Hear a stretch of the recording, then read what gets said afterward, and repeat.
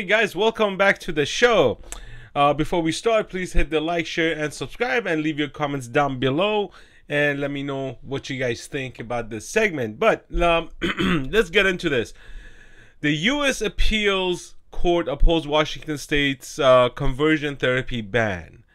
So, uh, if you guys uh, know, um, there was a there was a ban on the conversion therapy of of children uh, under the age of 18.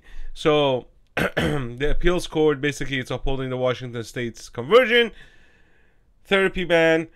Uh, the ban subjects licensed healthcare providers to discipline, including possible fines and license revocation for try- for trying to change a minor's sexual orientation or gender identity. This is this is huge. This is huge. this is where children they go to these therapists and these therapists they're like oh yeah you definitely need to change your identity you need to do this and you need to do that uh, while they're minors and at times parents have no idea what's happening a U.S. federal appeals court on Tuesday unanimously upheld Washington state's ban on conversion therapy for children, rejecting a therapist's claim that it undermines his free speech and targeted him because he is Christian. The Ninth U.S. Circuit Court of Appeals said Washington's legislature acted rationally and did not violate the U.S. Constitution's First Amendment by imposing the ban to protect the physical and psychological well being of children. Enacted in 2018, the ban subjects licensed healthcare providers to discipline, including possible fines and license suspension or rev- uh, revocation for revocation for trying to change the sexual orientation or gender identity of people under the age of 18.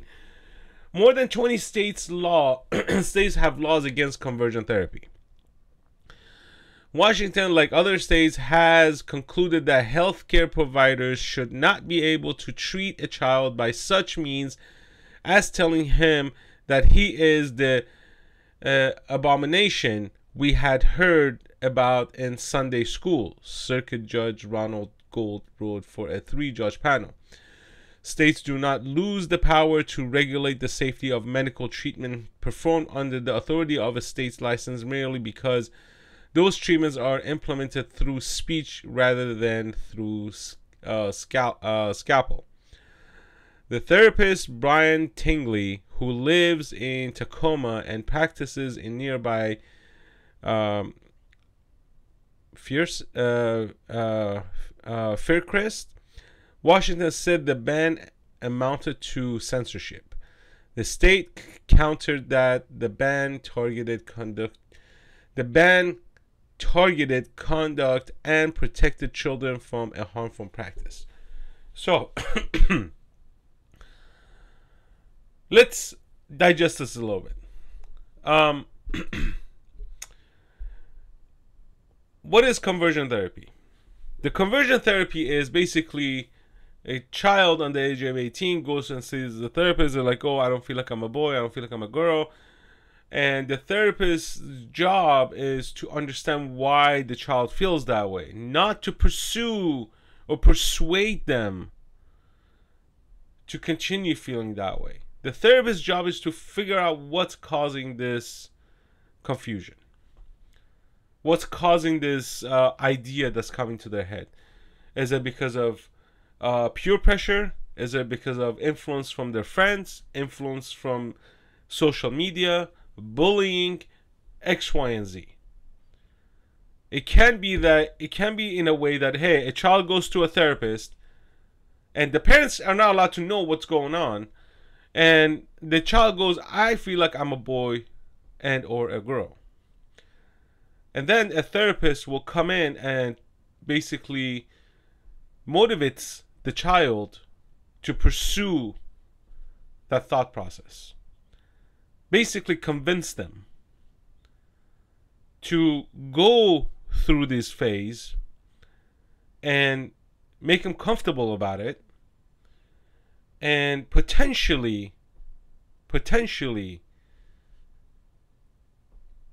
persuade them to do sex change therapy so or conduct a sex change from male to female, from female to male, however that works.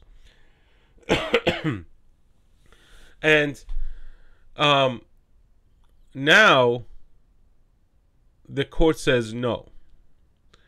In this particular case, um, so let, let, let's read another paragraph. Uh, Roger Brooks, a lawyer for Tingley, said his client plans to appeal. The government has no business censoring conversation between client and counselor. Well,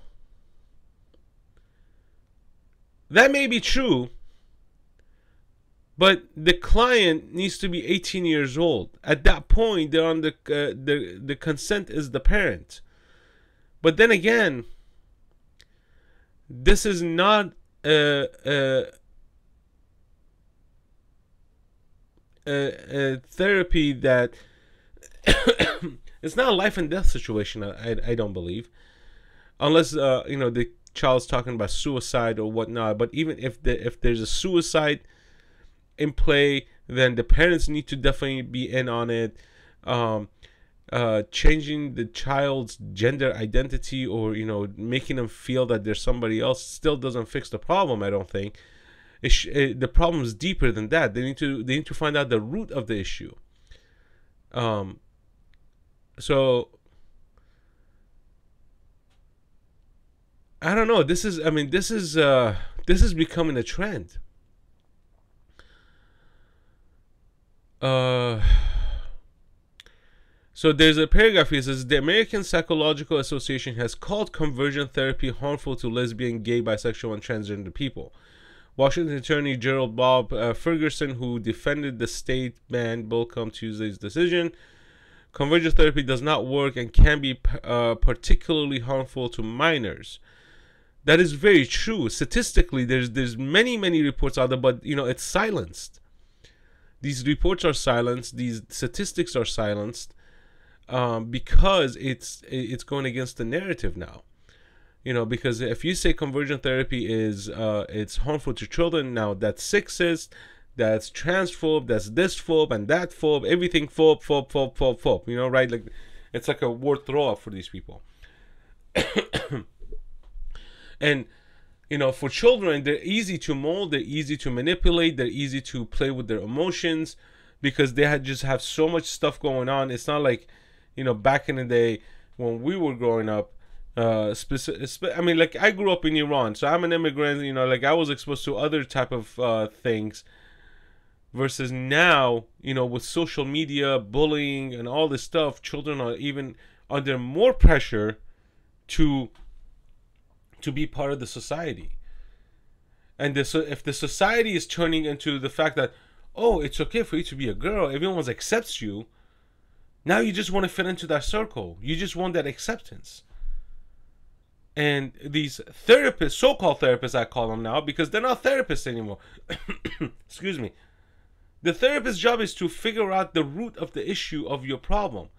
Why are you thinking this way? Why are you having suicidal thoughts? Why are you having thoughts of, you know, breaking up with somebody? Why are you having thoughts that nobody likes you? Why are you having the thoughts that you have to fit into this circle of individuals or circle of people or circle of uh, so-called friends x y and z isn't that the job of the therapist the therapist's job is not you know to comfort you and and persuade you to do things just because it's socially acceptable if you're having a mental breakdown they're supposed to figure out what the root of that mental breakdown is what is causing that mental breakdown. If your mental breakdown is, oh, I'm gonna be a girl, that's it. That's my mental breakdown. But what's causing it? Is it is it is it related to social media? Is it related to the circle of friends you're in? Is it because all of your friends are doing it and you want to do it too? Uh, it's something with getting tattoos. It's something with getting piercings. You know, the type of clothes people wear you know, a lot of people want to copy one another. I did it. I remember I was doing it when I was in high school and, you know, out of, even out of high school. Because I wanted to fit into a certain circle. I didn't go to an extent that I would regret my decision. I would always think about the decision I was going to make. But now it's getting even worse because now they're just targeting children. These are minors. These are these are these kids don't even know what they're getting themselves to, into. And you know they they you know they're ripping these kids apart. They're they doing uh, hormone blockers, testosterone blockers. You know they're they're doing uh, breast augmentations. They're doing oh my god they're doing unbelievable things. Surgery they're doing surgery on children you know sex change surgeries. So this is where i draw the line guys. I don't know. I think i think this ruling is great.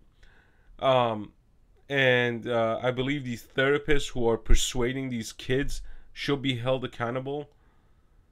Um because if you're becoming a therapist if you're becoming a counselor you need to you need to push them to the right direction because these are lifelong changes.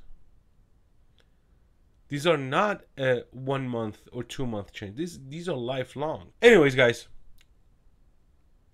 leave your comments down below. Let me know what you think. Peace out.